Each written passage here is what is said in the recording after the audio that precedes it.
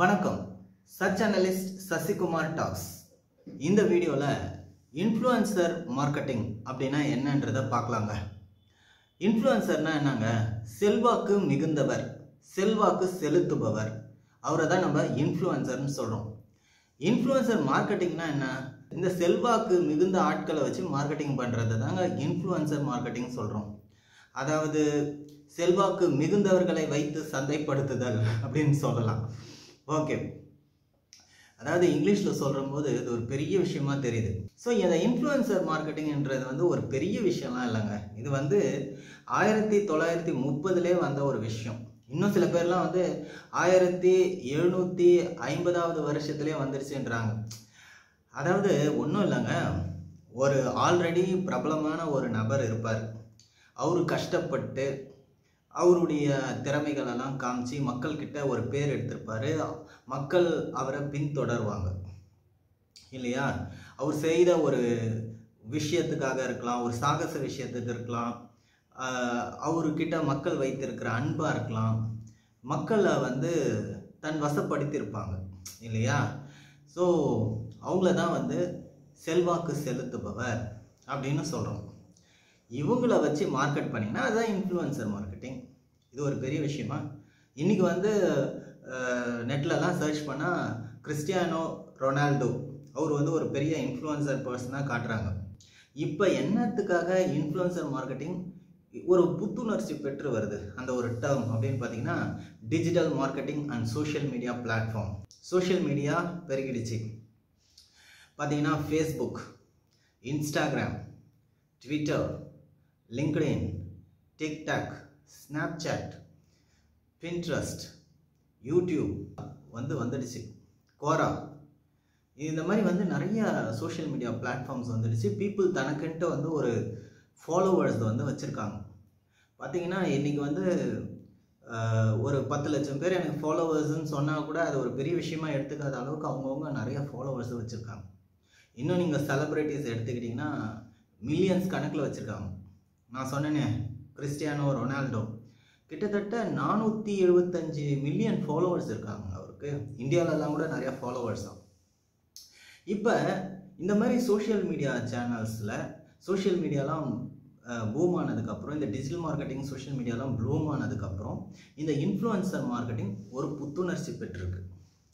அதாவது பார்த்தீங்கன்னா social media அப்படின்னு வரும்போது நீங்கள் மெஷர் பண்ணிடலாம்.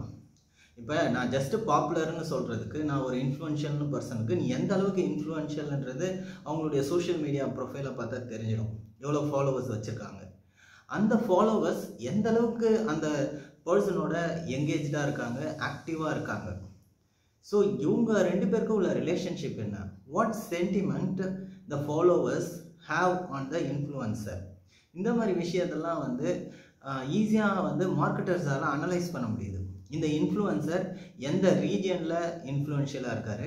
இவர் சொன்னால் அவங்க கேட்பாங்களா? அவங்க ரொம்ப ஆக்டிவாக எங்கேஜாக இருக்காங்களா? இல்லை ஜஸ்ட் ஃபாலோவர்ஸாக மட்டும் இருக்காங்களா?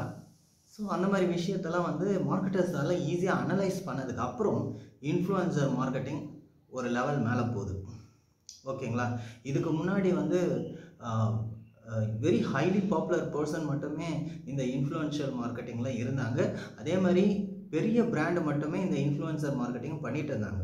இப்போ சோஷியல் மீடியாலாம் பூம் ஆனதுக்கப்புறம் ஸ்மால் பிஸ்னஸ் ஸ்டார்ட் அப்ஸ்லாம் கூட இன்ஃப்ளூயன்சர் மார்க்கெட்டிங்கை பண்ண ஆரம்பிச்சிட்டாங்க.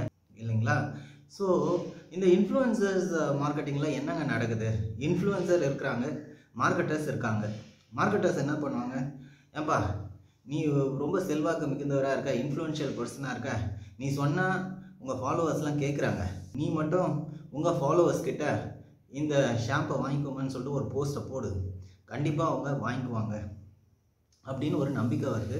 அதுக்கான அமௌண்ட்டை பே பண்ணிடுறாங்க இன்ஃப்ளூயன்சர்கிட்ட அவரும் போயிட்டு அவருடைய சோஷியல் மீடியா சேனலில் போயிட்டு பல லட்சக்கணக்கான ஃபாலோவர்ஸ் கிட்ட சொல்கிறாரு இங்கே காசை வாங்கிக்கிறாரு அங்கே சொல்கிறாரு மக்கள் அதை நம்புகிறாங்க வாங்குறாங்க.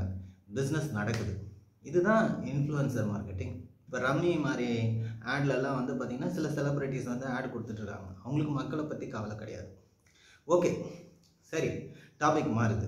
ஸோ இன்ஃப்ளூயன்சல் மார்க்கெட்டிங்கிறது இதாங்க வேறு ஒன்றும் இல்லைங்க. ஓகேவா இப்போ ஒரு தொகுதியில் ஓட்டு கேட்க போவாங்க. அந்த தொகுதியில் யார் பிரபலமானவர் அப்படின்னு பார்ப்பாங்க. ஃபஸ்ட்டு அவரை பிடிப்பாங்க. அங்கே யார் செல்வாக்கு மிகுந்தவர்? அவரை பிடிச்சி அவரை கூட்டின்னு போவாங்க. எதுக்கு? அவர் கொஞ்சம் சொன்னாருன்னா மக்கள் நம்மளுக்கு ஓட்டு போடுவாங்கன்றதுக்காக. அந்த ஓட்டியே நீங்கள் வந்து மார்க்கெட்டிங் பர்ஸ்பெக்டிவில் யோசிங்க. ப்ராடக்டை வாங்க வைக்கணும். ஓகேவா இந்த இன்ஃப்ளூயன்சரை பிடிக்கிறாங்க. அந்த இன்ஃப்ளூயன்சர் ஏற்கனவே க்ரெடிபிலிட்டி ட்ரஸ்ட்டு எல்லாமே பில்ட் பண்ணி வச்சுருக்காரு. இது ஒரு ஷார்ட் வேல போகிற மாதிரி. ஆல்ரெடி அவர் எல்லாத்தையும் பில்ட் பண்ணி வச்சுருக்காரு. கஷ்டப்பட்டிருக்காரு. பல வருஷங்கள் உழைச்சிருக்காரு. திறமைசாலி அறிவாளி பெரிய அரசியல்வாதி பெரிய லீடர் பெரிய விளையாட்டு வீரர் ஓகேங்களா பெரிய சினிமா நடிகர் சினிமா நடிகை பெரிய மோட்டிவேட்டர் பெரிய மக்கள்கிட்ட ஒரு புரட்சியை உண்டாக்குனவர் மக்கள்கிட்ட ஒரு எழுச்சியை உண்டாக்குனவர்னு நிறைய பேர் இருப்பாங்க. அவங்கள தான் இன்ஃப்ளூயன்ஷியல் பர்சன் சொல்கிறோம் அவங்க வந்து ஒரு கையை தூக்கி ஹாய் சொன்னால் ஹாய்னு ஆயிரக்கணக்கான பீப்புள் வந்து சொல்கிறாங்க அந்த அளவுக்கு பாசம் நேசம் அவங்க மேலே ஒரு மரியாதை நம்பிக்கை வச்சுட்டு ஃபாலோவர்ஸ் இருக்காங்க. ஸோ இந்த இன்ஃப்ளூயன்ஷியல் பர்சன் என்ன பண்ணுறாங்க அவங்களா போய் எங்கேயும் போக மாட்டாங்க. மார்க்கெட்டர்ஸே வருவாங்க. தபர்பா தம்பி. அண்ணா தலைவா உனக்கு இவ்வளோ ஃபாலோவர்ஸ் இருக்காங்க. என்ன என் என்னுடைய ப்ராடக்டை கொஞ்சம் என்டோர்ஸ் பண்ணு. என்னுடைய ப்ராண்டை கொஞ்சம் என்டோர்ஸ் பண்ணு. அதாவது என்னுடைய ப்ராண்டை கொஞ்சம் ப்ரொமோட் பண்ணு. அவங்களுடைய ஃபாலோவர்ஸ் கிட்ட சொல்ல வைப்பாங்க. சில பேர் வந்து பிராண்ட் அம்பாசடர்னுவாங்க அந்த பிராண்ட் அம்பாசடர் இன்ஃப்ளூயன்ஷியல் பர்சன் ஒரு பிராண்ட் அம்பாசடராக கூட மாறுவாங்க. அப்படின்னா அவங்க ஒரு போஸ்டோடு நிறுத்திட மாட்டாங்க. பிராண்டோட வந்து ஒரு லாங் டைம் ப்ரொமோஷன் பண்ணிட்டு வருவாங்க. ஸோ பிராண்ட் அம்பாசடர் அப்படின்னு சொல்லுவாங்க. ஸோ இதுதாங்க இன்ஃப்ளூயன்சர் மார்க்கெட்டிங் இன்றைக்கி வந்து இன்ஸ்டாகிராம் வந்து இன்ஃப்ளூயன்சர் மார்க்கெட்டிங்னு எடுத்திங்கன்னா நம்பர் ஒன் சோஷியல் மீடியா பிளாட்ஃபார்மாக இருக்குது அதுக்கப்புறம் ஃபேஸ்புக் இருக்குது டிக்டாக்கு மற்ற எல்லா சோஷியல் மீடியா பிளாட்ஃபார்ம்ஸில் இருந்தோம் யூடியூப்பில் இருந்தோம். நிறைய இன்ஃப்ளூயன்சஸ் இருக்காங்க. ஒன்றும் இல்லைங்க. நீங்கள் போங்க. இந்த மாதிரி யூடியூப்போ இல்லை ஏதோ ஒரு சோஷியல் மீடியா சேனலை ஓப்பன் பண்ணுங்கள் நிறைய ஃபாலோவர்ஸ் உங்களை ஃபாலோ பண்ணி வருவாங்க. பல லட்சக்கணக்கான ஃபாலோவர்ஸ் வந்ததுக்கப்புறம் பாருங்கள் மார்க்கெட்டர்ஸ் உங்களை தேடி வருவாங்க.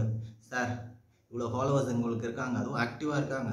எங்களுடைய ப்ராடக்டை கொஞ்சம் அதை பற்றி ஒரு வீடியோ பேசி போஸ்ட் பண்ணுங்கள் அப்படின்வாங்க இல்லையா? அப்படி நீங்கள் பண்ணும்போது that is a kind of influencer marketing நீங்கள் ப்ளூ சட்டை மாறன் பார்த்துருக்கலாம்.